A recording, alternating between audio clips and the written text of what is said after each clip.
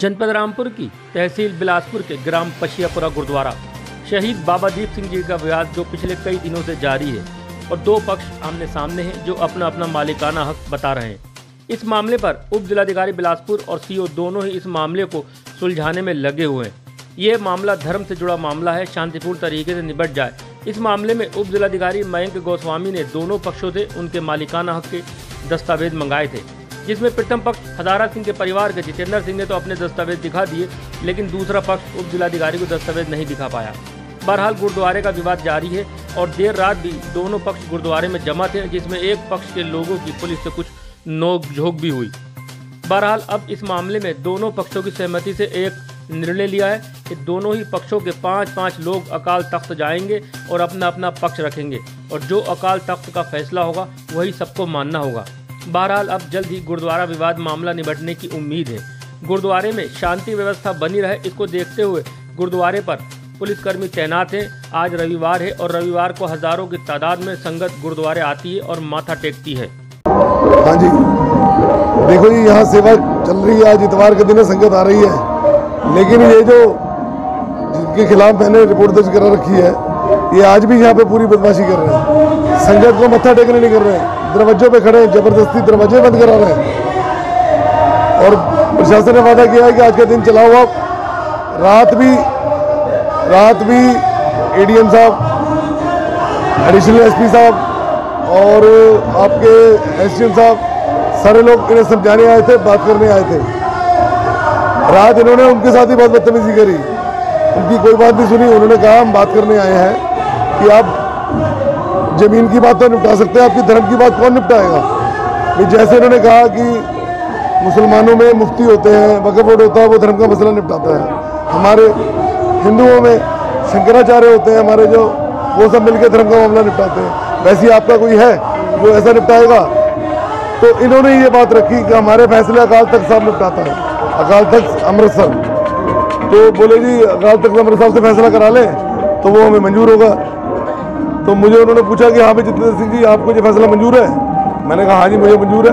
आप अकाल तख्त से फैसला कराएँ, जो फैसला करेंगे मैं मंजूर होगा। तो बोले तो वो बोले, हमें मंजूर है। तो बोले, ठीक है जी, आप लिख के दीजिए हमें कि अकाल तख्त का फैसला जो होगा, आप पाँच आदमी, आप जाएँगे, पाँच आदमी ये जाएँगे। वहाँ जाके अपने अपने आप बयान दीजिए, फिर अकाल तख्त का फैसला लेके आइए, फिर हम आगे कार्रवाई करेंगे। फिर ज़मीन का फैसला हम कर देंगे, धर्म का फैसला वो कर देंगे। उस हिसाब से हम इसका आपका काम निपटा देंगे। फिर इन्होंने हमें ज़मीन का लालच दिया कि अपनी ज़मीन के पैसे ले लो। मैंने कहा, जी, हम अपने गुरु को कैसे भेज दें? मैंने कहा, ये पैसों का लालच का काम आप लोग करते हैं, हम लोग ये काम नहीं करते। हम लोग तो पहले ही पैसे बंद करते थे, लेकिन आप लोगों ने तो कर रखा है ये काम। आज भी आप देख लो यहाँ पे पैसे की कैसे लूट हो रही अब उसने कहा, ऐसा ही आप लिख के दीजिए। अब ये उस बात से फिर मुकर गए। इन्होंने फिर प्रशासन को लिख के नहीं दिया कि अकाल तख्त का फैसला मानेंगे या नहीं मानेंगे। बस ये एक दिन का फिर समय मांगा, एक दिन का समय दो। प्रशासन ने बोला, जी, कुछ नहीं।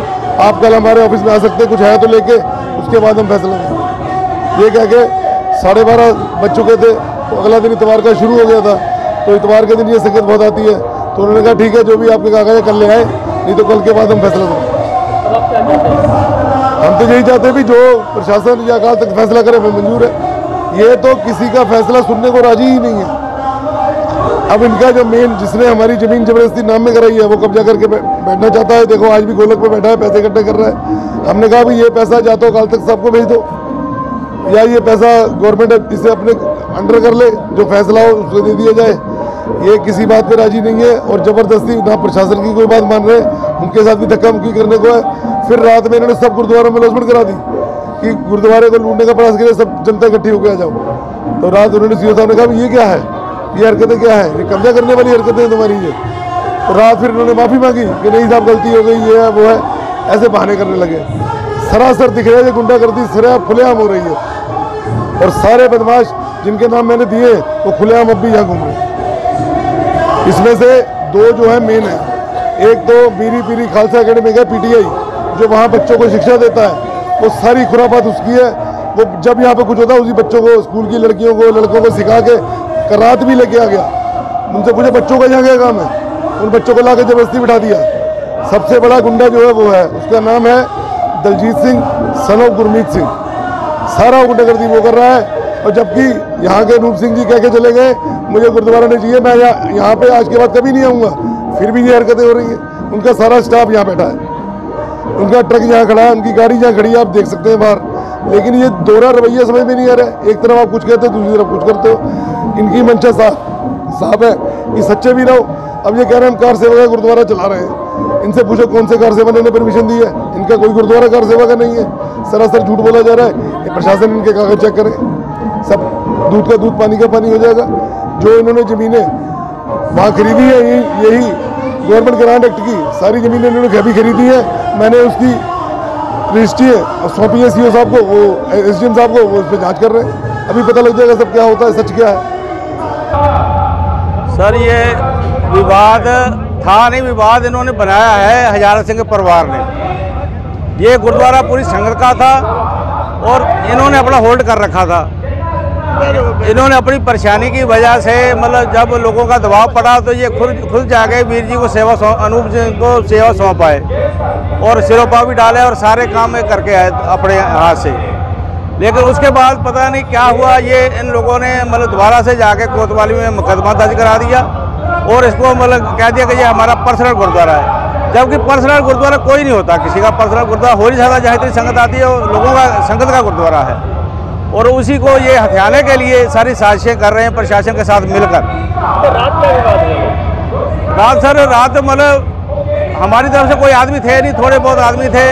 और इन्होंने रात प्रशासन से मिली भगत करके रात के 11 बजे यहाँ आके धावा बोला पुलिस ने और प्रशासन ने। और मतलब लोगों को यहाँ गालियाँ तक दी गई और गोली मारने की धमकियाँ तक दी गई और ये इन्होंने पूरा बहुत गलत काम किया हम इसका विरोध करते हैं।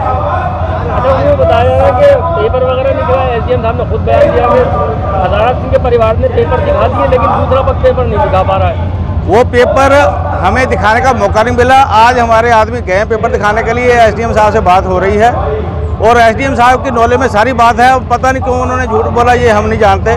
आज हम उनको सारे पेपर भी दिखाएँगे और हमारा वकील भी आएगा हम उनसे बात करने हमारे आदमी गए हुए हैं आज। अच्छा वो रात फैसला हो रहा कि अकाल तख्त मानेंगे। प्रशासन ने कहा कि ज़मीन का फैसला हम करते हैं लेकिन धर्म का फैसला कौन का है तो ये बातें हुई अकाल तख्त का और सर ऐसे हुआ कि जब पुलिस को कामयाबी नहीं मिली संगत बहुत यहाँ इकट्ठी हो गई। तो फिर उन्होंने खुद कहा कि मतलब कोई ऐसा मसला है जैसे मतलब इसको कोई मसला हल किया जाए किसी तरीके से।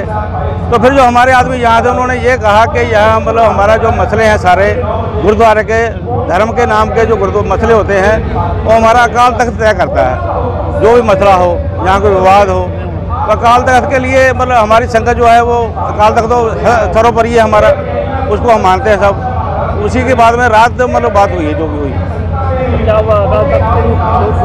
वो ये हुआ कि पाँच पाँच मेंबरी कमेटी, उनकी तरफ़ से पाँच मेंबरी कमेटी और पाँच मेंबरी कमेटी हमारी तरफ़ से जाएगी काल तख्त पे। और वहाँ सारे अपने अपने पक्ष रखेंगे हम। जैसा वो फैसला करेंगे, सबको मान्य होगा।